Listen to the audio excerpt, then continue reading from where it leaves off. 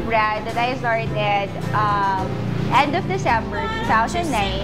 I was approached by one of the best suppliers and shoemakers here in Marikina with his skills and my design ano, um, skills. Wait, guys. Um, came out with the first collection for. We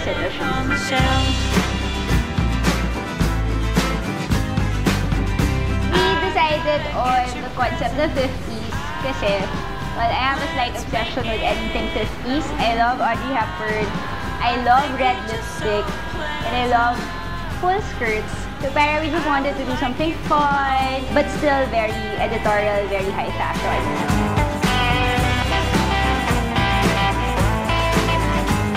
We also uh, had like the best location for the concept right here in Marikina. It's Mama Chick's Coffee House and it has the complete like 50s diner concept na. Why don't you sit right Why not Rima? She's like perfect for the whole 50s concept. Her look is very sweet but still fierce enough and then she's also very kisay and super payat niya. So parang perfect na perfect siya dun sa whole Audrey Hepburn na peg. Sobrang medyo kamukha niya si Audrey Hepburn rin. Yeah, I love her eyes. It's um, it's what we call the smiling eye. She can actually smile without her teeth. she can do that, smile with her eyes. Not her nose, not her nose. But With your nose? ayan, yan. One, two, three, go. Winner!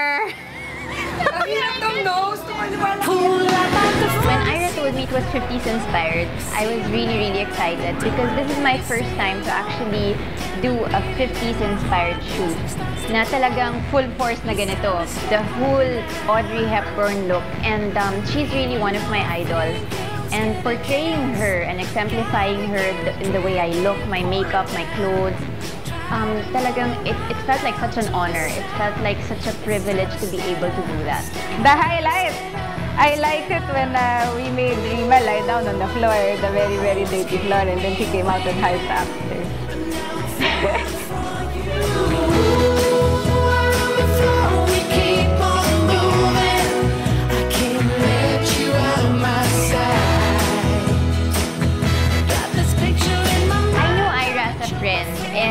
um, I've gotten some belts from her. She's really the nicest, the kindest, the most accommodating. But more than anything today, I saw the oasiness. As in, oasiness to the next level. Her shoes are all nicely placed in boxes. You know how you have to put masking tape underneath just so it doesn't get dirty. Her clothes are all nicely hangered in a rack. All her layouts are really well planned. Her pegs were beforehand prepared. As in lahat talagang to the last detail. Everything was really well planned. Working with Ira was very easy.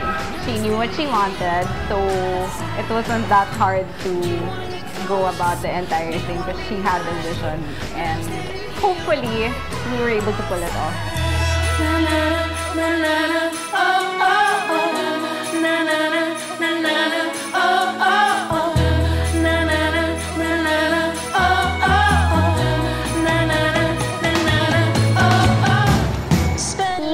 Puno is one of the best and most efficient photographers you could ever, ever work with. Number one, super dali niyang makausap. And she's like steady. She's like always game na lang for any concept. And sobrang she doesn't hesitate in telling what she thinks. And another thing is, sobrang bilis na magtrabaho. Like, you just tell her what you want and she easily gets it.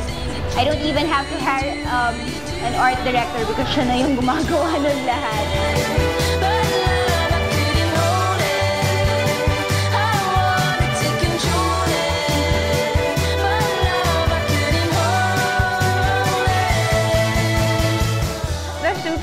Fun. The location was very inspiring and Rima was very inspiring as well and she took direction very well. The makeup was awesome and the styling also. And of course the shoes. I was actually taken by surprise when I found out about the Sinta collection. Kasi um, I know Aira does belts and she does really fabulous belts.